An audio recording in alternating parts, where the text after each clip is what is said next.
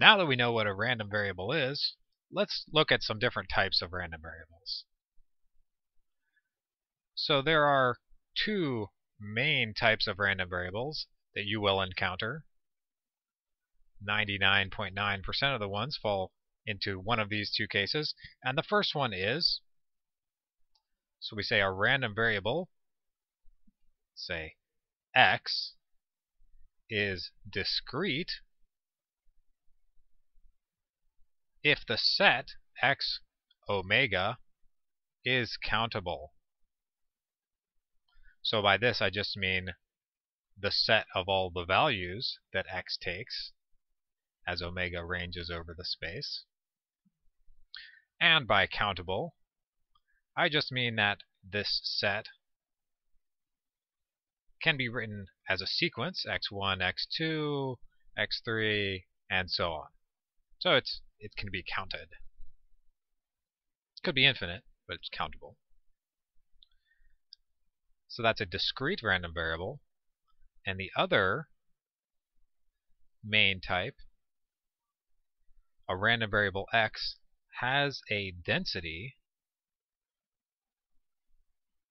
x has a density f, so f is the density, if the CDF f, the CDF of x, can be written as an integral, the integral from minus to infinity to x, of some uh, of this function, little f.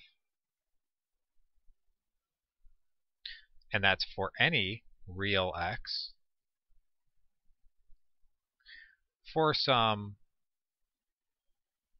for some little f here, oh, and, uh, it has to be integrable, of course, for this to make sense. So it's just some non-negative function that can be integrated. So that's a random variable with a density. And I should say that technically speaking, this is a Lebesgue integral with respect to Lebesgue measure. Now, don't panic if you don't know what that means. I haven't talked about Lebesgue integration. But there's no need to panic because if you remember, you know, of course you remember the standard Riemann integral from calculus. That's the one that you learn in calculus.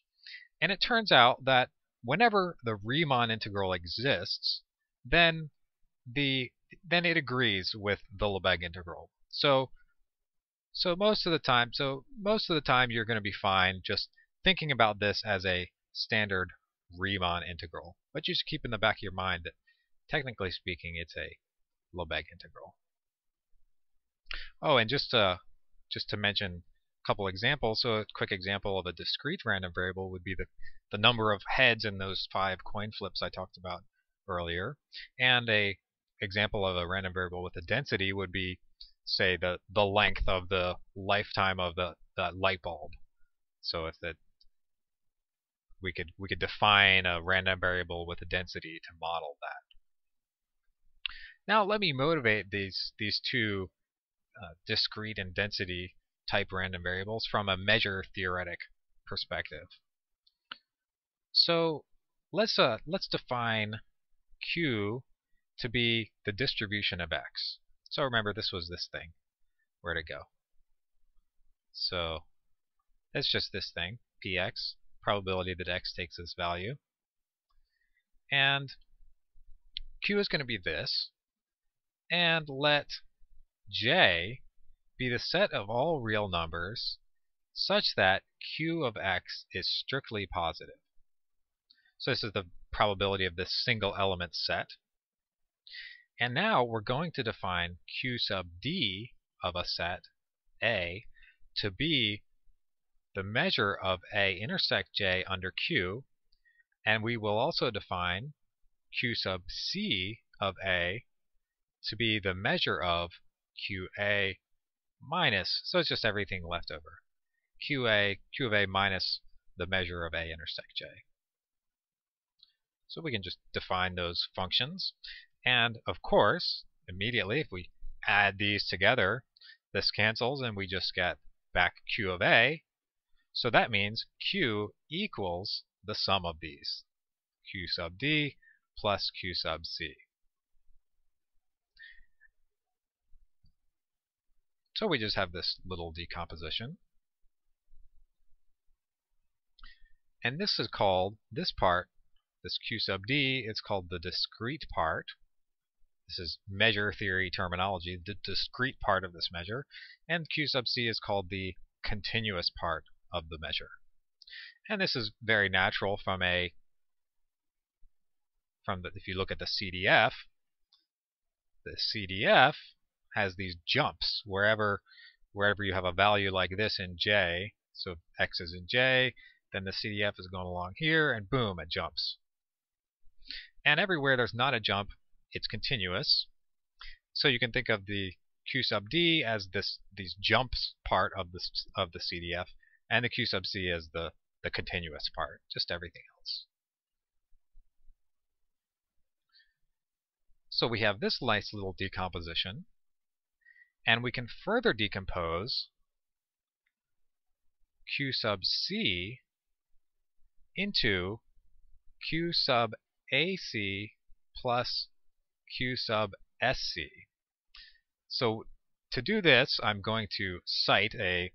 uh, not going to prove it or anything, way beyond the scope of this, but I'm going to cite this Radon-Nikodym theorem.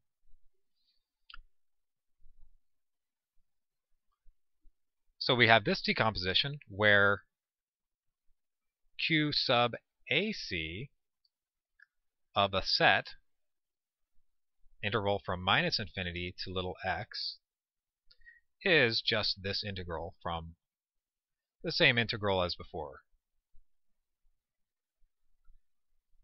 Du for some integrable function f, just like before.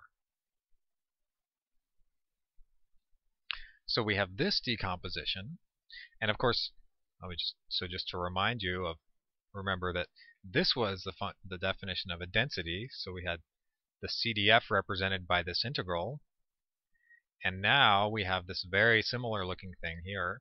So you might begin to get suspicious that there is some some coincidence here, some some connection.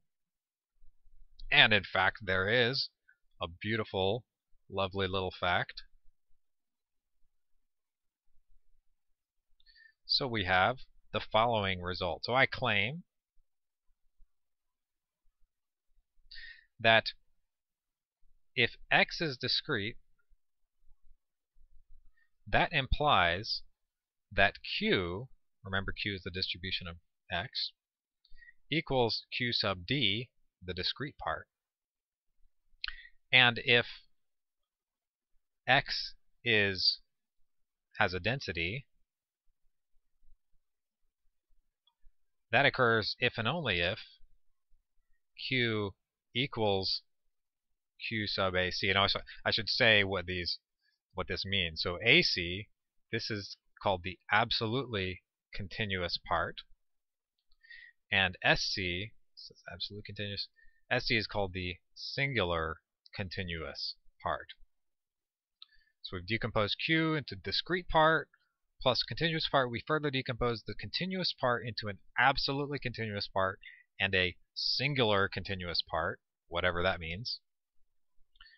And the absolutely continuous part satisfies this property. And now I claim that x discrete implies that its measure is just just the discrete part. So that's nice. And it has a density if and only if its measure is just the absolutely continuous part. Now this, in spirit, so I just wrote the implication this way. In spirit, the opposite implication holds. There's a technical detail, just differences on sets of measure zero.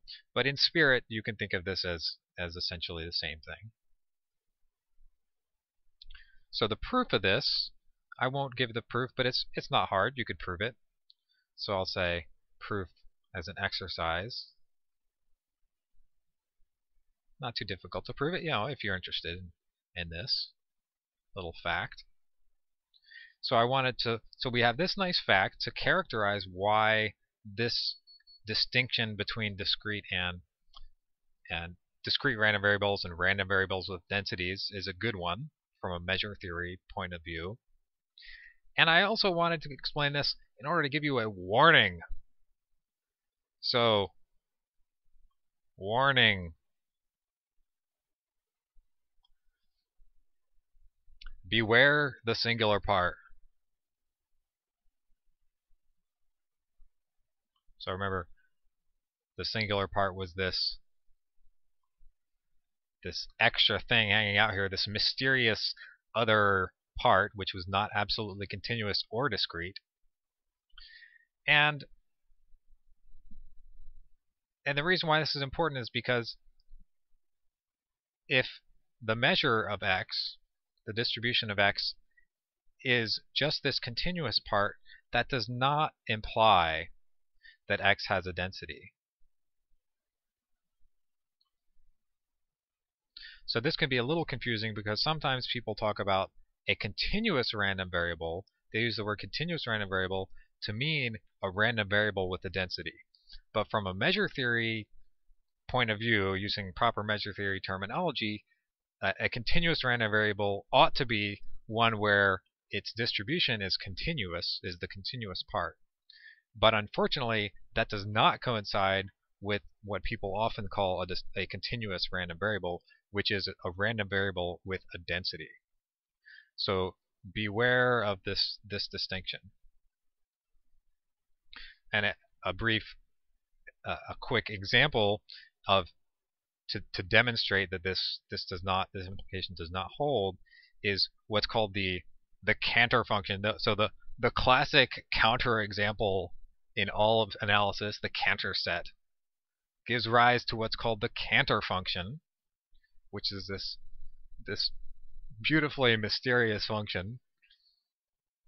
And if you take the Cantor function as a CDF of a random variable, then it is a it is has a singular continuous part, but no discrete part and no absolutely continuous part. So it so in particular, it has no density and it, it has no point masses.